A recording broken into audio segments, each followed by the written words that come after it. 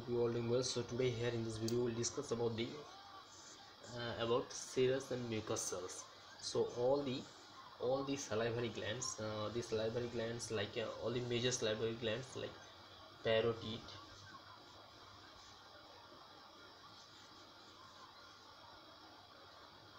uh, parotid submandibular sublingual and the uh, sub uh, sublingual submu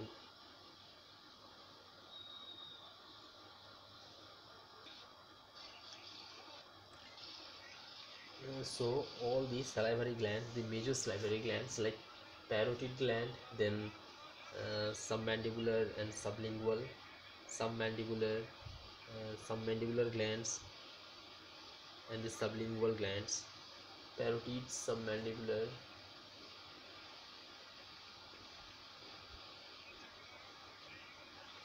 and sublingual. These are three major uh, major glands so these are formed by the these all the all the salivary glands contain serous and mucous cells. So the parotid gland the parotid gland parotid gland makes the um, parotid glands makes uh, the parotid gland makes serous secretion serous secretion secretions. Serous secretion so so it contains serous cells and the submandibular gland. Submandibular gland is a mixed gland. So it's it's uh, it's contains serous and mucous both cells. So it's uh, uh, so uh, both glands. So it gives serous uh, serous and mucous secretions and this sublingual gland it contains mucous cells.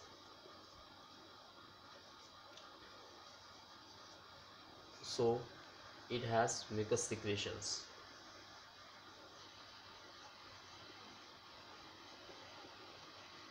So it has mucous secretions.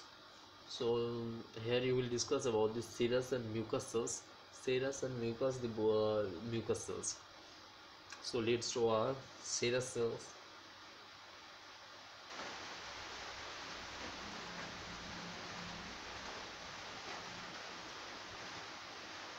This is the serous cells?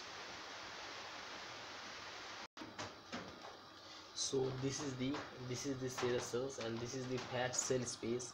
This is serous duct and this is the inter intercalated duct this is serous cells so now we will discuss about the characteristics of the cells the cells are specialized uh, sorry specialized for the all the synthesis all the synthesis storage all the synthesis storage and the secretions of proteins. All this uh, number one uh, this these serous cells are specialized for all the synthesis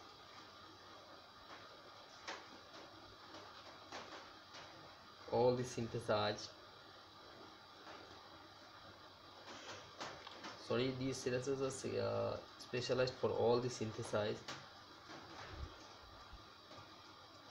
uh, synthesized storage. All the synthesized storage and the secretions of proteins and secretions of proteins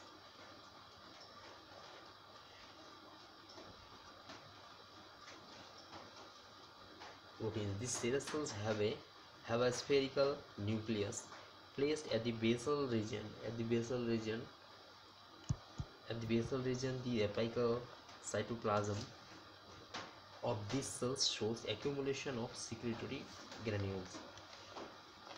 Have a spherical nucleus. These cells have a spherical nucleus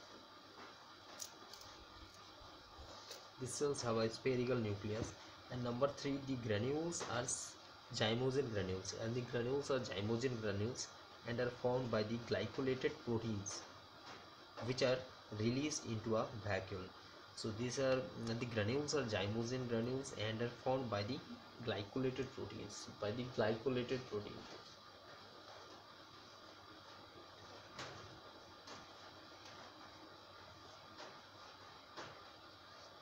by the glycolated proteins. And the, number these serous cells shows acid phosphatase phosphates uh, esterases and glucon uh, and glucosidase and galactose galactoside activity. Glucosidase and galactosidase activity. The serous cells have a acid phosphatase uh, acid phosphatase esterases glucosidase and galactoside activity and the ultrastructural feature of its serous cells is typical of a protein secreting cell. So protein secreting cell.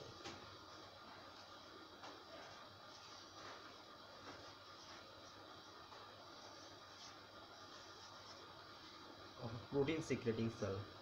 And num and the last point that is the basal protein of the cytoplasm is filled with a ribosome studded endoplasmic reticulum RER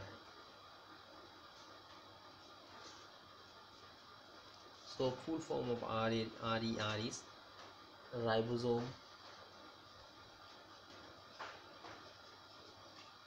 Studded. Endoplasmic reticulum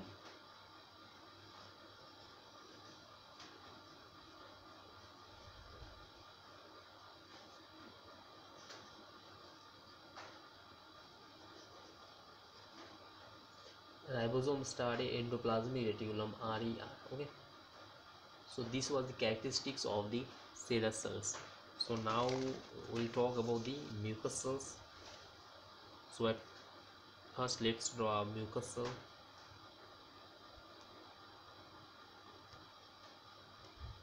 So this is the mucous cells and this is the nucleus and this is the nucleus of the cell which is oval